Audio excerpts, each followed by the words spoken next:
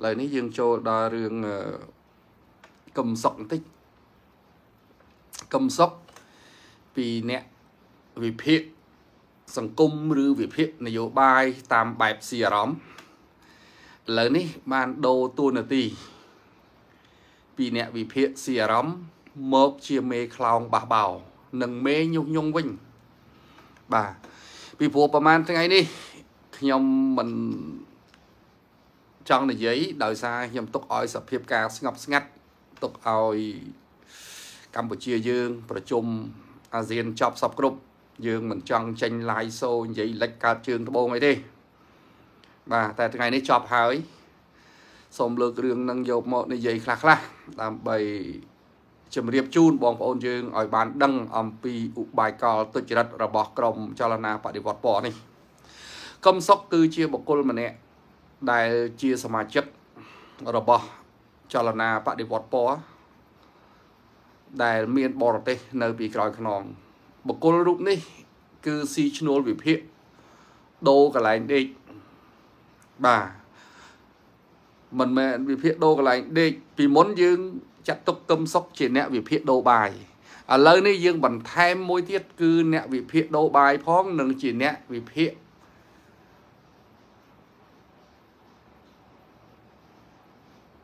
ដូរកន្លែងដេកផងបាទវិភាគដូរកន្លែងដេកមានន័យថាបើគាត់មិនវិភាគជេ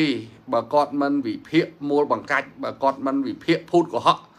គឺអង្គការដែលគេធានាគាត់ឲ្យទៅនៅក្រៅប្រទេសហ្នឹងគេនឹងគម្រាមបដិញមកវិញហើយបដិញមកវិញក៏ខ្លាចជាប់គុកនៅស្រុកខ្មែរ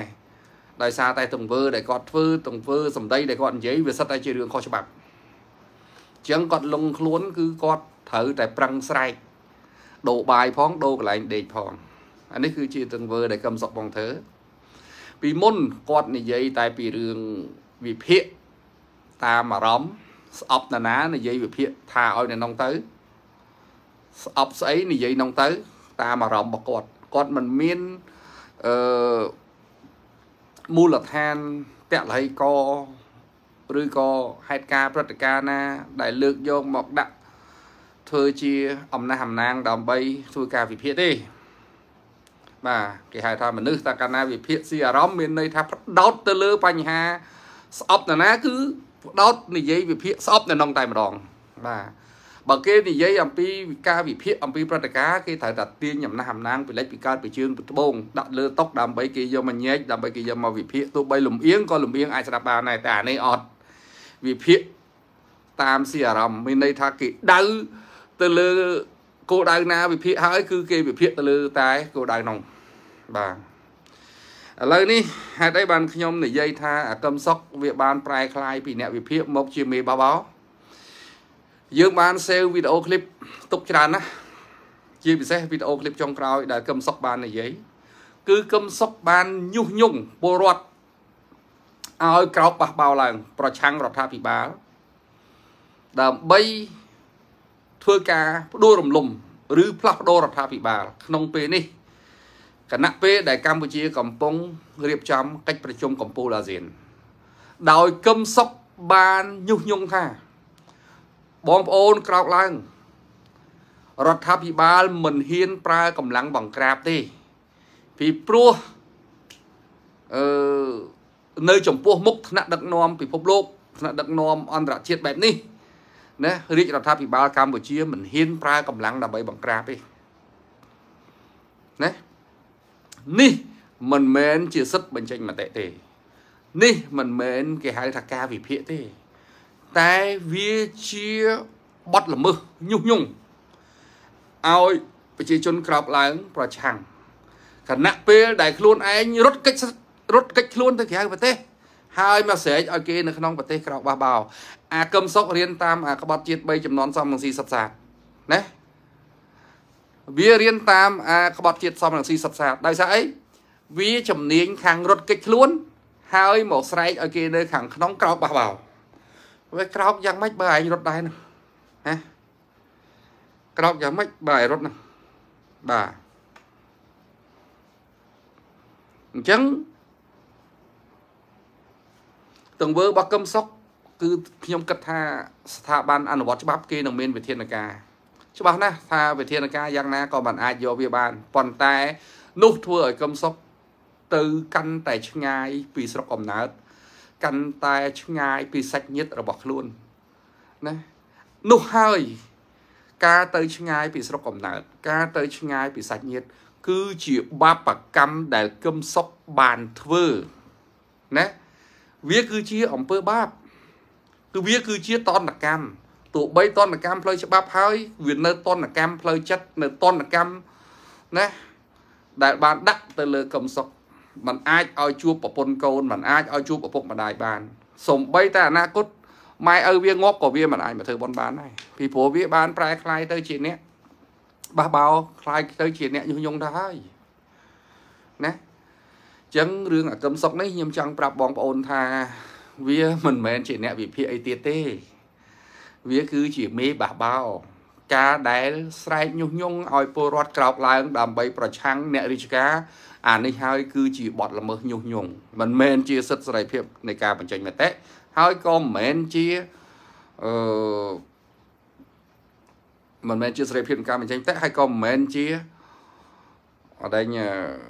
ការវិភាគអីមួយដែរគឺជាបទញុះញង់តែម្ដង បាទមេបះបោមេបះបោវាចម្លងពីរាំងស៊ីដូចខ្ញុំនិយាយមុននឹងបាញ់អញ្ចឹងវារត់ទៅក្រៅប្រទេសនោះខ្លាចជាប់គុកជាប់ច្បាប់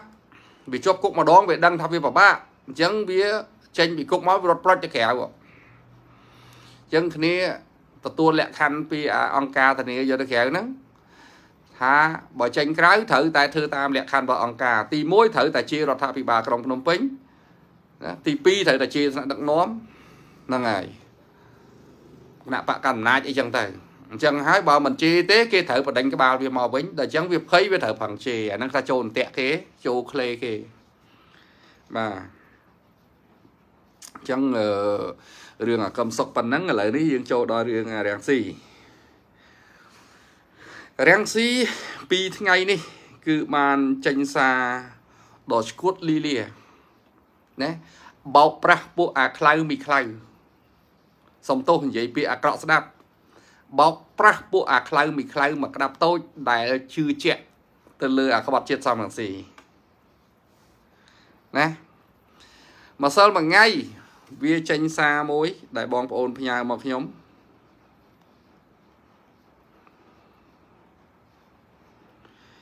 វាចេញសារថានេះវាវាចេញសារថាវានៅអឺរ៉ុបនៅ Brussels នៅ Brussels ប្រទេសបែសិកបាទវាថាវាជួបថ្នាក់ដឹកនាំសហគមន៍អឺរ៉ុបសហគមន៍អឺរ៉ុបនឹងជួយគ្រប់គ្រងវាហើយគេមិនគ្រប់គ្រងរដ្ឋាភិបាលអីចឹងណានេះវានិយាយហ្នឹងបាទវានៅវាពោថាវានៅសហគមន៍អឺរ៉ុបអាហ្នឹងខ្ញុំជឿហើយវានៅអឺរ៉ុបព្រោះវារងថ្ងៃវារត់នៅអឺរ៉ុបហ្នឹងមែនផ្ទះវានៅប្រាំងហើយវានៅប្រុចសែលវារបស់វានៅប្រុចសែលមែនប៉ុន្តែខ្លឹមសារសាច់រឿងវានិយាយភូត ហេតុអីបានខ្ញុំថាភូតពីព្រោះប្រធានក្រុមប្រឹក្សាសហគមន៍អឺរ៉ុបនៅស្រុកខ្មែរណាមកប្រជុំអាស៊ាននេះនេះអឺ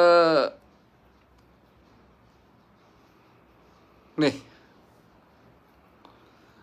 នេះគាត់ប្រធានសហគមន៍អឺរ៉ុប មកប្រជុំអាស៊ានណា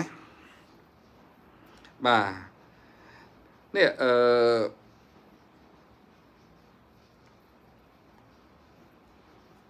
លោកអរិញគេហៅនេះលោក Charles Michel Charles Michel ហ្នឹងគឺជាប្រធានក្រុមប្រឹក្សាសហគមន៍អឺរ៉ុបគាត់កំពុងតែប្រជុំចូលរួមប្រជុំអាស៊ាននេះជាមួយសម្ដេចតេជោនាយករដ្ឋមន្ត្រី បែរជាអាក្បត់ជាតិសំរងស៊ីវានិយាយពីប្រុចសែលប្រទេសបែសិកមកថាសហគមន៍អឺរ៉ុបអត់គ្រប់គ្រងរដ្ឋាភិបាលទេអត់គ្រប់គ្រងសម្ដេចតេជោទេណាគ្រប់គ្រងតែវាណាគេទទួលស្គាល់តែអាក្បត់ជាតិសំរងស៊ីណាវានិយាយភាសាអញ្ចឹងកើតថាវាទៅវានិយាយអញ្ចឹងវាបោកវាប្រាស់ប៉ុន្តែពួកអាខ្លៅមីខ្លៅដែលគ្រប់គ្រងវានោះមកក្តាប់ទូចវាអត់មើលថា ប្រធានក្រុមប្រឹក្សាសហគមន៍អឺរ៉ុបនេះកំពុងតែនៅស្រុកខ្មែរណាអាដាមឆាលមីសែលនៅស្រុកខ្មែរកំពុងប្រជុំនៅពេញនេះបាទហើយចេះតែឃើញខមមិនអឺអបអសាទរលោកប្រធានអបអសាទរក៏ដូចម៉ែអាខ្លៅមីខ្លៅទៅអបអអាមនុស្សផោកអឺថោកបោកប្រាស់គេអាក្បត់3ចំនួនណា ឥឡូវបងប្អូនគិតមើលវាថាសហគមន៍អឺរ៉ុបអត់គ្រប់គ្រងទេប៉ុន្តែធៀបពិតជាក់ស្ដែងសហគមន៍អឺរ៉ុបកំពុងតែប្រជុំណានៅរាជធានីភ្នំពេញកំពុងតែអង្គុយតុកទល់មុខសម្ដេចតេជោនាយករដ្ឋមន្ត្រីនេះនេះបងប្អូននេះតុងតុងទៀតអរេងសហគមន៍អឺរ៉ុបនេះប្រធានសហគមន៍អឺរ៉ុបនេះសម្ដេចតេជោនាយករដ្ឋមន្ត្រី ណាកំពុងតែប្រជុំនៅពេញឲ្យវាកោតវាភូតនៅនោះកើតវាកោតក៏ទៅអាក្បត់ជាតិ3ចំនួននេះណាពូជវាគឺពូជភូតកុហកអញ្ចឹងហ្មងបាទអាក្បត់ជាតិសំរងស៊ីពូជវាក្បត់វាភូតអញ្ចឹងហ្មងណាសហគមន៍អឺរ៉ុបកំពុងតែនៅជាមួយកំពុងតែនៅប្រជុំនៅពេញណាវាថាសហគមន៍អឺរ៉ុបអត់អត់គ្រប់គ្រងយើងមិនត្រឹមតែមិនមិនត្រឹមតែគ្រប់គ្រងទេណាគឺចូលរួមប្រជុំ ក្នុងអរិយភាពជាដៃគូជាមួយអាស៊ានណាបាទចឹងអានេះពោបានតែពួកអញ្ចឹងបានខ្ញុំសុំទោសប្រើពាក្យអាក្រក់ស្ដាប់ពួកអាខ្លៅមីខ្លៅមកក្តាប់តូចទេដែលនៅជឿអាក្បត់ជាតិសំរងស៊ីហ្នឹងណាវានាំគ្នាខមមិន hero hero អញ្ចឹងទៅបាទ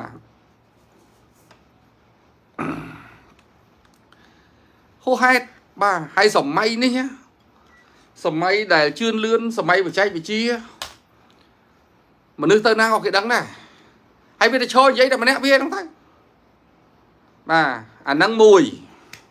ដែលវាភូតដែលវាបោកហើយខ្ញុំចាប់ផុសតាងបានហ្នឹងបងប្អូនមើលខ្ញុំមែនទៅនិយាយបំភ្លៃស្អីនេះឯកឧត្តមអរែង Charles Michel ប្រធានសហគមន៍អឺរ៉ុបនេះទងជាតិអឺរ៉ុបនេះសម្ដេចតេជោនាយករដ្ឋមន្ត្រីនេះទងជាតិកម្ពុជាបាទ ហើយចេះវាកោតវាថាយើងអរិយសហគមន៍អឺរ៉ុបអត់គ្រប់គ្រងយើងអញ្ចឹងទៅកើតអូលោកឲ្យលោកអាហ្នឹងមករឿងទៅ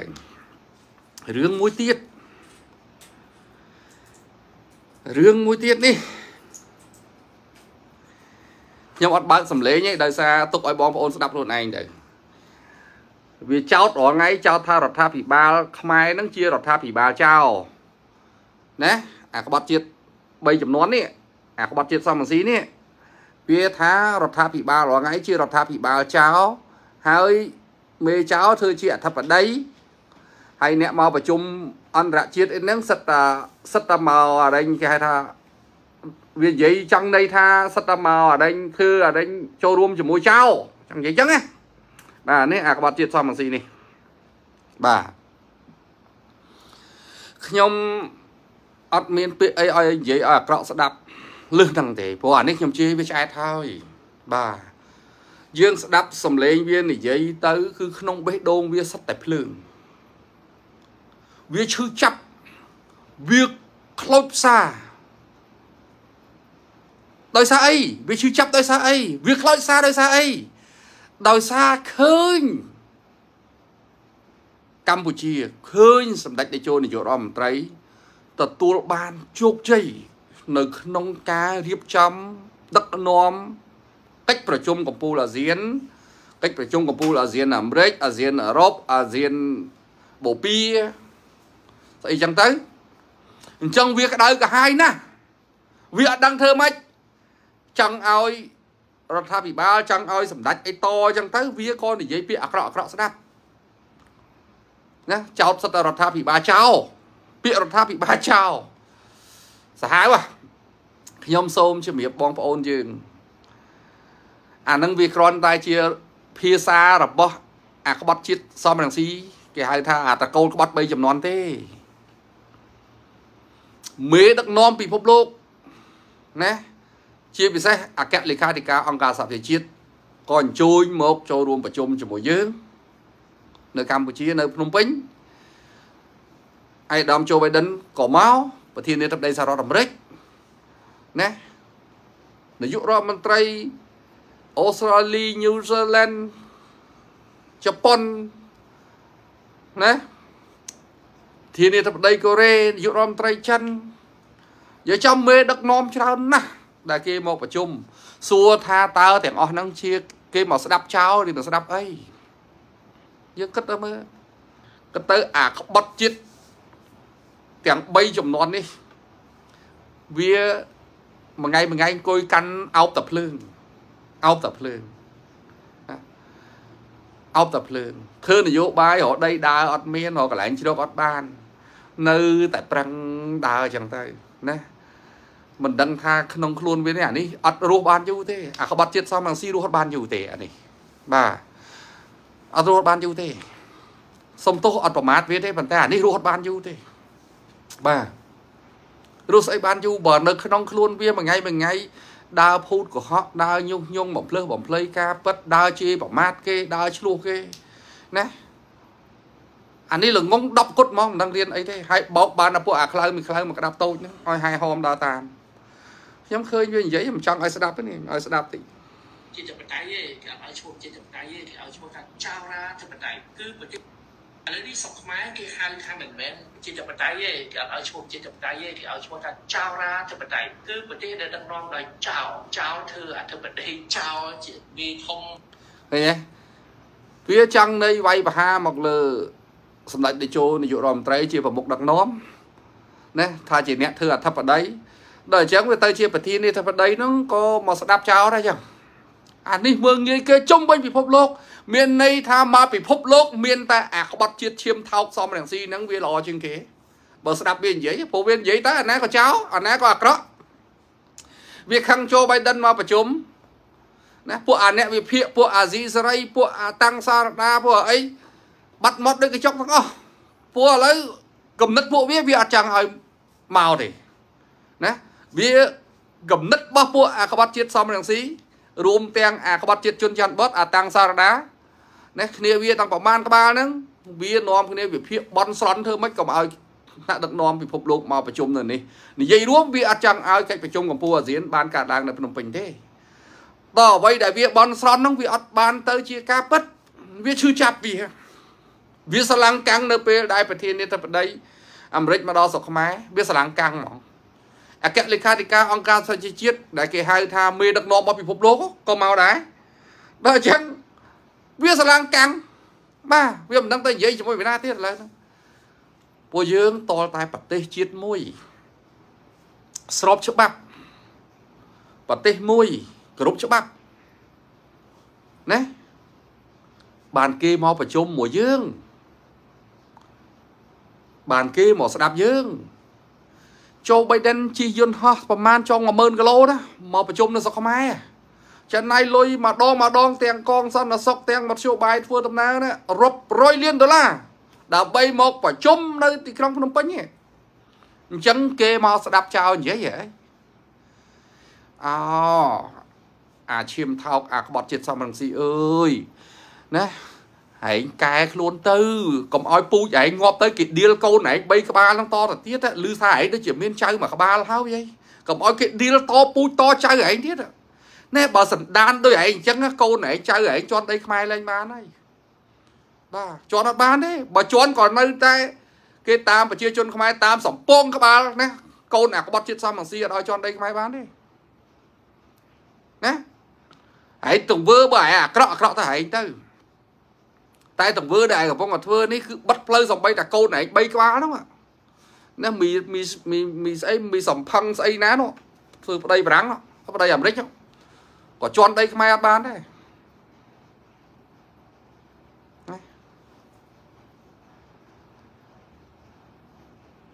អានេះមកពិភពលោកចោលទាំងអស់តើវាម្នាក់ត្រឹមត្រូវគឺដូចម៉ែអាត្រឹមត្រូវ ខ្ញុំចង់និយាយជេរវាអាក្រក់ទេព្រោះអានេះមិនដឹងមានពាក្យអីឲ្យជេរអាក្រក់លើនឹងទៀតវាអស់វាមិនដឹងខ្ញុំនិយាយស្មោះត្រង់ពីមុនខ្ញុំអត់សូវចេះជេរទេតែតាំងពីពួកអានេះបង្កើតមនុស្សឲ្យស្អប់គ្នាឲ្យជេរគ្នាមកខ្ញុំទ្រាំអត់បានជេរដែរអញ្ចឹងបានប្រហែលថ្ងៃហ្នឹងខ្ញុំទទួលមិត្តភ័ក្តិអត់ដែងអបអាននេះស្គាល់ខ្ញុំតាម Facebook ពីមុនគាត់នៅប្រឆាំងណាគាត់ថាពួកអត់ហ្នឹងនិយាយតែភូតបរៀនឲ្យតែនិយាយតែភូតនិយាយឲ្យចំទៅលោក Brady Young ហ្នឹងពីមុនដៃគូ ជំទាស់មតិមួយខ្ញុំហើយគាត់ថានៅមួយខាងសំរងស៊ីហ្នឹងគឺភូតរហូតបំភ្លៃរហូតកុហករហូតដល់តែយូរយូរទៅគាត់យល់អញ្ចឹងទៅគាត់ក៏មកចូលរួមមួយរដ្ឋាភិបាលមួយគណៈបព្វជិជនវិញបាទដល់ពេលមកដល់ខ្ញុំនាំគាត់ទៅកំពង់សោមខ្ញុំនាំគាត់ទៅនេះទៅនោះឲ្យមើលឃើញការអភិវឌ្ឍគាត់ឃើញជាក់ស្ដែង បាទពីមុនយើងបរោះទៅគាត់អត់ជឿគាត់ជឿពួកហ្នឹងវាថាងូកយើងកាត់តដល់ទៅពេលយើងមកឃើញនឹងភ្នែកជាក់ស្ដែងបានដឹងថាអូប្រទេសខ្មែរអភិវឌ្ឍដល់ម្លឹងបាទសូម្បីតែខ្ញុំនាំគាត់បើកផ្លូវលបឿនលឿនពីភ្នំពេញទៅកំពង់សោមបើកតែ1ម៉ោងកន្លះទេមិនដល់1ម៉ោងកន្លះ1ម៉ោងកន្លះផងបើកតែ1ម៉ោង20នាទីទេបាទអាហ្នឹងចំណេញពេលវេលាច្រើនណា អាហ្នឹងការអភិវឌ្ឍអញ្ចឹងហើយនៅទីក្រុងភ្នំពេញសំណង់អាគាររីស្គូស្គីគាត់មើលឃើញបាទដល់ទៅពេលពីមុនគាត់មិនមកណាវាភូតរហូតអាក្បត់ជាតិសំអង្ស៊ីបដោះបដាលមនុស្សឲ្យភូតកុហកលៀបពណ៌បំភ្លៃការពិតគ្រប់បែបយ៉ាងឥឡូវវាអស់លក្ខអស់លក្ខផងម៉េចបងប្អូនខ្មែរយើងនៅអាមេរិកនៅអឺរ៉ុបនៅកាណាដានៅអូស្ត្រាលីនៅញូហ្សេឡង់គេបានមកលេងស្រុកនេះខែ11ខែ12នោះមកច្រើនណា ជាពិសេសដូចពូមកហើននេះមកគាត់ដើរគ្រប់ប្រទេសអឺដើរគ្រប់ខេត្តដើម្បីមើលឃើញការអភិវឌ្ឍហើយពូមកហើននេះពីមុនគាត់វាយបហាដែរដោយសារអីគាត់ជឿអាក្បត់ជាតិសមអង្ស៊ីវាបរៀនវាបរៀនអ្នកគ្រប់គ្រងឲ្យតែនិយាយភូតឲ្យតែនិយាយកុហកឲ្យតែនិយាយជេរអញ្ចឹងដល់ឥឡូវគាត់ដឹងការពិតគាត់មកឃើញជាក់ស្ដែងគាត់លែងជឿវាអាហ្នឹងវាអស់លក្ខបាទនៅតែពួកមកតបស្វាមកក្តាប់តូចតាដែលនៅអាលីអាលើជឿអាក្បត់ជាតិឈាមថោកសមអង្ស៊ីហ្នឹង បាទចឹងទេរឿងដែលវាប្រមាថឬអីនេះខ្ញុំគិតថាបើជាជឹកខ្ញុំឯងសូមវល់ថ្នាក់ដឹកនាំយើងមេតាកុំឆ្លើយឆ្លងកុំតបតជាមួយអាឈាមថោកនេះបាទទុកឲ្យកូនចៅអ្នកគ្រប់គ្រងនឹងជេរបចោវាទៅបានហើយព្រោះអានេះវាមើងងាយមនុស្សជុំវិញលោកសត្វតចោអញ្ចឹងនឹងធ្វើមិនវាល្អដល់វាម្នាក់វាណាបាទអាក្បត់ជាតិសំស៊ីថាវាល្អដល់ម្នាក់វាណា ចឹងថ្ងៃហ្នឹងវាមានកិត្តិយសហើយខ្ញុំលើកវាយកមកនិយាយតាំងក៏ពិតខ្ញុំមិនចង់ជ្លក់មាត់ទេមួយពួកអស់នេះព្រោះនិយាយទៅយើងខូចអារម្មណ៍ដោយសារពួកអស់នេះមិនដឹងថានិយាយអីមួយវាបើថាវានៅក្នុងស្រុកទៅក៏យើងមានត្បូងជាប់គុលអស័យខ្នងបថៅអីនិយាយមួយវាបានដល់ពេលវានៅឆ្ងាយអញ្ចឹងនឹងយកត្បូងជាប់យកគុលអស័យទៅសំពងក្បាលវាមិនកាត់បាទមានសំពងតាមអាដែងឡាយសូហ្នឹងទៅបាទអញ្ចឹងយប់នេះសូមបញ្ចប់រឿងនងប៉ុណ្ណឹង ឥឡូវនេះចូលដល់រឿងនេះបន្តិចរឿងករណីនេះវាដូចជាប្រហែលថ្ងៃដែរយូរដែរហើយនេះរឿងហឹង្សានៅនៅនេះនៅស្អីទេមើលតិចសិន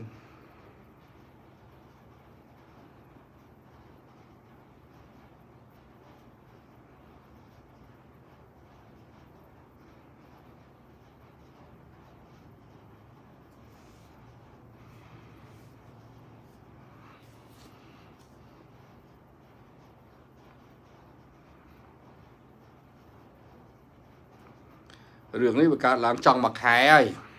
បាទកើតឡើងចង់មួយខែហ្នឹងគឺនៅអេមួយខែមួយខែជាងហើយមួយខែជាងហើយតាំងពីថ្ងៃ6ថ្ងៃ6ខែ10ហ្នឹងហើយមួយខែជាងហើយគឺជនពីលមួយក្រុម មានគ្នាប្រមាណ10នាក់ណាមានឈ្មោះ ឈរតាំងហ៊ុយជាមេខ្លោង ដឹកនាំគ្នាប្រមាណ10នាក់ចូលទៅវាយផ្ទះអ្នកលក់ទូរស័ព្ទពីរអ្នកប្តីប្រពន្ធតែរឿងនេះ ក្រោយពេលកើតហេតុណាជនពីលឈរតាំងហ៊ុយនេះវាមានតំណែងតំណងល្អជាមួយសមត្ថកិច្ចមូលដ្ឋាន វាបានខົບខិតគ្នាខ្លែងរបាយការណ៍ដាក់ករណីវាយទៅវាយមកដែលធ្វើឲ្យតឡាការមិនបានខាត់ខ្លួនវាក៏ដោះលែងវាទៅបាទឥឡូវនេះដោយសារយើងមើលឃើញសមត្ថកិច្ចមូលដ្ឋាន មានការសុំកលុំជាមួយជនពីលឈរតាំងហុយនេះយើងបានឲ្យជនរងគ្រោះពីអ្នកប្តីប្រពន្ធនេះដាក់ពាក្យប្តឹងទៅអัยការ direct តែម្ដង ដោយមិនបាច់ដាក់ពាក្យប្តឹងនៅកន្លែងសមត្ថកិច្ចទេព្រោះសមត្ថកិច្ចស្អីអធិការអធិការរងហ្នឹងខណ្ឌ7មករាហ្នឹងវាសុំកលុំត្រូវគ្នាជាមួយនឹងពួកអាជនពីលហ្នឹងទៅហើយយើងទៅប្តឹងណាទៀតយើងក៏ណែនាំគាត់ថាកំបាច់ទៅប្តឹងអាប៉ូលីសហ្នឹងទេលីមូថាហ្នឹងគាត់ចោលទៅដាក់ពាក្យប្តឹងថ្មីទៅអัยការឥឡូវនេះអัยការចាត់ការតាមនីតិវិធីគឺស្អែកនេះត្រូវហៅជនពីលឈរតាំងហុយ រួមទាំងបពពួកមួយចំនួនទៀតឲ្យចូលខ្លួនរំភ្លឺពីព្រោះលើកគ្នាមកតបទៅវាយគេដល់ក្នុងផ្ទះហើយហ៊ានធ្វើរបាយការណ៍វាយទៅវាយមកណានឹងមានវីដេអូបង្ហាញជាផុសតាងទៀតពួកវាវារកស៊ីលក់ទូរស័ព្ទដែរនៅចំហៀងខាងនោះម្លងគ្នាពី3ផ្ទះវាលើកគ្នាមកវាយគេដល់មុខផ្ទះគេរត់ចូលផ្ទះវាយគេដល់ក្នុងផ្ទះទៀតហើយវាដើររកអន្តរាគមអ្នកធំអ្នកធំណា សិតតែថាគេពីរអ្នកម្ចាស់ផ្ទះហ្នឹងអ្នកចាប់វាចូលក្នុងផ្ទះវាយបងប្អូនស្ដាប់ហើយពិចារណាទៅមនុស្សពីរនាក់ទៅចាប់មនុស្ស10នាក់ចូលក្នុងផ្ទះវាយមិនកើតហើយពីរនាក់នេះតាមខ្ញុំដឹងប្តីនឹងដូចជាឈឺផង មានជំងឺផងហើយប្រពន្ធនឹងខ្សោយមានទៅវាយណាឈ្នះគេគ្នា10នាក់អញ្ចឹងអា10នាក់នេះគឺវាបានត្រៀមលក្ខណៈសម្បត្តិដើម្បីវាយរួចទៅហើយបករឿងរួចទៅហើយព្រោះវាមកម្ដង10នាក់ ហើយយើងមើលក្នុងវីដេអូវាវាយគេតានេះវីដេអូវាយគេតា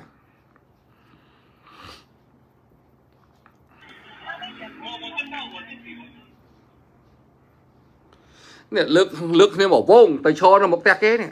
គ្រាន់តែគេដើរចូលផ្ទះវាយគេយកហ្មងនេះកន្លែងហ្នឹងដូចជាគេអស់ម៉ូតូចេញណាបាទអាហ្នឹងរូបនៅខាងក្រៅ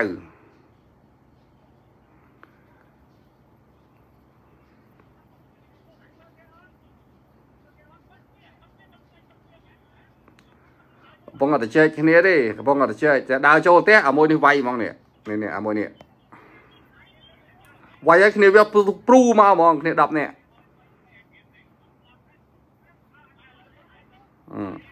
ទាញម៉ូតូចេញគាត់តែគ្នាទាញម៉ូតូចេញអានោះដើរចូលផ្ទះ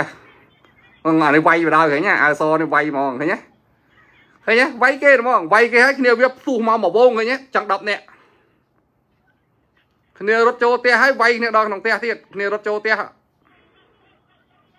អានេះរូបនៅក្រៅផ្ទះ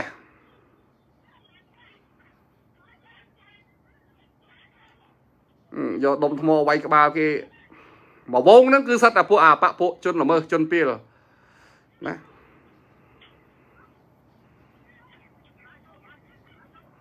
ចូលទៅវាយគេដល់ក្នុងផ្ទះនេះទៅតង្វងបងប្អូនឃើញទេ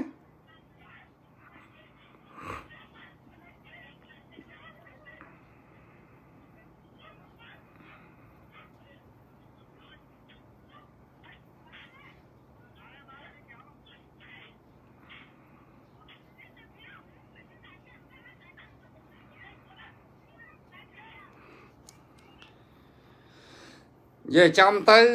ក្នុងមួយវងនេះគឺបពពួករបស់អាដែងឈ្មោះនេះឈ្មោះអាដែងអាជនពីលឈរតាំងហុយនេះ គឺជាអ្នកលើកមកវាយគេដល់មុខផ្ទះហ្មងស្រាប់ពេលទៅដល់តឡាការតឡាការធម្មតាគឺអឺអាដែងប៉លិសប៉លិសគេស្គាល់គ្នាគេហ្នឹងគេមានខាត់ណាគេចោទថាវាយទៅវាយមកគេថាបើខាត់គាត់ទាំងពីរណែវាទៅវាយគេដល់ក្នុងផ្ទះហើយទាខាត់ទៀតឥឡូវហ្នឹងយើងឲ្យដាក់ទៅអัยការហើយចង់សំណុំពរថាអัยការធ្វើម៉េច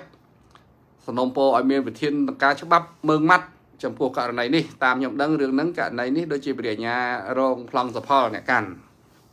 បាទសូមឲ្យធ្វើម៉េចបើដើម្បីរយុទ្ធធរឲ្យជនរងគ្រោះហើយកុំឲ្យជនរងគ្រោះមានការភ័យខ្លាចសូមឲ្យមានវិធានការមើងម៉ាត់ពីព្រោះឥឡូវនេះដោយសារតែវាឃើញថាវាយវាយគេអត់មានបញ្ហា វាដើរបោះពាក្យសម្ដីថាទៅទៀតអញវាយឲ្យថែមទៀតណាកម្រាមអញ្ចឹង ខ្ញុំលឺសូរដល់កម្រាមអញ្ចឹងខ្ញុំចង់ទៅស៊ីឈ្នួលយាមផ្ទះលក់ទូរស័ព្ទហ្នឹងតើឲ្យវាវាយខ្ញុំម្ដងមើលឬមកពួកអាកាសសង្គមអស់ហ្នឹងឯងមានលុយប៉ុណ្ណាឯខ្សែប៉ុណ្ណាចង់ទៅស៊ីឈ្នួលយាមមកដេញស្អី IB store ហ្នឹងម្ដងមើលឲ្យមកវាយអញម្ដងមើលមែនតើបើថាច្បាប់គេមិនធ្វើការទុកឲ្យប្រែងវណ្ណៈទៅស៊ីឈ្នួលយាមហាងនោះម្ដងមើលឲ្យចង់វាយឲ្យលូតមកមើលឲ្យគ្នាឯងបាន10នាក់ហើយវាយផែងវណ្ណៈម្ដងមើល មែនតាខ្ញុំចង់ធ្វើជារកអ្នកលេងឬមកអាពួកកូនចៅចិននេះហ្នឹងគាត់តែទាត់ក៏ក៏ឯងប្រកាច់ដែរមែនតាខ្ញុំមិនចង់និយាយភាសាអ្នកលេងទេបើពួកអស់នេះសាពួកអាកូនចៅចិនហ្នឹងពួកអា10មួយយួនហ្នឹងហើយដើរបោះពាក្យសម្ដីហើយប្រឹងបោះពាក្យសម្ដីទៅប្រយ័ត្នប្រយ័ត្នគុកស្រុកគេមានច្បាប់ហ៎បាទអាងស្គាល់អ្នកធំហ៎ ខ្ញុំអ្នកធំណាក៏ដោយឲ្យតែហ៊ានលុកដៃរឿងហ្នឹងខ្ញុំយកមកផ្សាយនៅហ្នឹងហ្មងខ្ញុំយកយល់ឲ្យអ្នកធំម្នាក់នៅប្រទេសមានជ័យខ្ញុំអត់បញ្ចេញឈ្មោះទេនៅខាងអัยការតែបើដឹងថាអ្នកធំណាលុកដៃករណីហ្នឹងទៀតខ្ញុំបៃអ្នកធំហ្នឹងអត់ឲ្យរួចខ្លួនទេបាទព្រោះទុកឲ្យច្បាប់គេធ្វើការវាប្រព្រឹត្តបទល្មើសហើយយើងឲ្យវាដើរវាយគេដើរមកសេរីចឹងមិនកើតបាទវាអត់ត្រូវវាអត់ត្រូវ ទុកឲ្យគេច្បាប់គេធ្វើការទៅព្រោះពេលខ្លះគ្នាអត់ចង់រត់មកអ្នកកសែតឲ្យជួយទេតែពេលខ្លះមិនដឹងរត់ទៅរកណាបើទៅប៉ូលីសប៉ូលីសគេអត់វីរវល់មកយើងផងអាប៉ូលីសអរិញខណ្ឌ7មករាហ្នឹងគេអត់វីរវល់ផងតែអញ្ចឹងមានរត់រកអ្នកកសែតហ្នឹងឯងឲ្យជួយស្រែកចុះប្រជាជនណាមួយមួយគេមិនចង់សំរឿងទេគេមិនចង់ទៅរកអ្នកសារព័ត៌មានទេប៉ុន្តែពេលខ្លះអស់លោកនៅក្នុងធ្វើវាអយុត្តិធម៌ពេកបានគេទ្រាំបានគេរត់មករកឲ្យមានមនុស្សស្រែកហ្នឹងវាដូចករណីនៅកំពង់ឆ្នាំងអញ្ចឹងឃើញទេ សម្រាប់មនុស្សផងប្រើកំភ្លើងខុសច្បាប់ផង ស្ងាត់ស្ងាត់ជាប់គុកតែមួយឆ្នាំចេញមកវិញបាញ់គេទៀតបើកុំវាបាញ់គេក្រោយនេះគ្មានអាណាដឹងរឿងជាប់គុកមួយឆ្នាំនៅកំពង់ឆ្នាំងទេហើយស្រួលស្រួលហ្នឹងគេថានាងស្រីមួយដែលងាប់នៅក្នុងឡានលេខស៊ី200តេហ្នឹងនាងហ្នឹងជាអ្នកបករឿងទៀតបើតាមឮគេប្រាប់ខ្ញុំថាអាមួយហ្នឹងវាមិនមែនអ្នកបាញ់ទេបតាយបតបគ្នាបតាយបតបគ្នាទៅក៏រៀលកៃផ្ទុះត្រូវនាងហ្នឹងចំកដាលដើមទ្រូងស្លាប់ទៅតាំងក៏ពិតគេធ្វើអីធ្វើទៅអាហ្នឹងទោះបីស្លាប់ដោយអចេតនាក៏ត្រូវទោសធ្ងន់ជាងហ្នឹងដែរហើយនៅប្រើកំភ្លើងខុសច្បាប់មកតង់ទៀតហើយជាប់មួយឆ្នាំយើងគិតមើលមើលយើងអត់ដឹងនិយាយថាម៉េចខាងកំពង់ឆ្នាំងគេធ្វើបានហើយយើងនិយាយប៉ុណ្ណឹងអត់តាន់ឃើញគេចេញសេចក្តីថ្លែងការណ៍ទេអត់តាន់ឃើញចេញបំភ្លឺយើងរងចាំគេបំភ្លឺណាតឡាការកំពង់ឆ្នាំង បំភ្លឺគេផងថាអាករណីជាប់គុកមួយឆ្នាំហ្នឹងបាញ់សម្លាប់គេផងជាប់គុកមួយឆ្នាំហ្នឹងវាហេតុការយ៉ាងម៉េចអីយ៉ាងម៉េចបំភ្លឺគេដឹងផងណាបើរៀលកៃមែនឬក៏នាងនឹងបាញ់សម្លាប់ខ្លួនឯងឬក៏យ៉ាងម៉េចណាខាងកំពង់ឆ្នាំងតឡាការបំភ្លឺគេផងអារឿងជាប់គុកមួយឆ្នាំនោះបាញ់គេងាប់ផងជាប់គុកអាដេញប្រើកំភ្លើងខុសច្បាប់ផងជាប់តមួយឆ្នាំចេញមកវិញចេញមកវិញបាញ់គេទៀតណាអាណាអាក្រក់មើលណា កែតម្រង់ស៊ីជម្រៅកុំកែអីណាមកធ្វើអីធ្វើអញ្ចឹងកើតទេអាណិតថ្នាក់លើអាណិតណាដឹកនាំណាកុំធ្វើប្រេះផ្ដាស់អស់លោកអើយតាំងកប៉ិតខ្ញុំអរគុណអរគុណព្រឹត្តិការណ៍នៅចោមចៅដែរបើវាកុំមកបាញ់គេនៅចោមថៃទៀតយើងអត់ដឹងថាវាចេញពីគុកទេយើងស្មានថាវាជាប់គុកតាបំភ្លឺគេផងតែរឿងហ្នឹងវាមិនបានជាប់តែមួយឆ្នាំចេញ ណាធ្វើរបាយការណ៍ឲ្យនៅឥឡូវប្រជុំអាស៊ានចប់ទឹកក្រោយសុំតឡាការពងឆ្នាំងភ្លឺផងខ្ញុំក៏មិនដឹងរឿងដែរមិនដឹងថាវាបាញ់មែនឬក៏វារៀលកៃឬក៏វាយ៉ាងម៉េចយើងក៏មិនដឹងតែគាត់ថាប្រាប់ថាបើរៀលកៃអាម្ចាស់កភ្លើងហ្នឹងមិនក៏វាបញ្ចូលគ្រាប់បើវាមិនមានចេតនាសម្រាប់នាងហ្នឹងមិនក៏វាបញ្ចូលគ្រាប់ក្នុងកភ្លើងវាហើយកភ្លើងហ្នឹងវាបានមកពីណាតាមខ្ញុំស៊ើបសួរថាកភ្លើងហ្នឹងវាទិញគេពីថៃអាមួយភ្នាក់ងារលក់ដីហ្នឹង គាត់ណាទោសកភ្លើងហ្នឹងមួយ2ឆ្នាំ3ឆ្នាំបាត់ហើយហើយនៅមនុស្សស្លាប់ទៀតពី3បាត់ល្មើសជាប់មួយឆ្នាំចេញមកវិញបាញ់ទៀតហ្នឹងហើយអាហ្នឹងយ៉ាងម៉េចខ្ញុំមិនដឹងទេខ្ញុំមិនតន់ហ៊ានចោតត្រង់ត្រង់ទេតែសុំឲ្យបំភ្លឺសិនទៅពងឆ្នាំងឡាកាចៅក្រមណាកាត់ទោសនោះចៅក្រមណាឲ្យលែងនោះសុំភ្លឺមកណាសុំភ្លឺមកតើឥឡូវ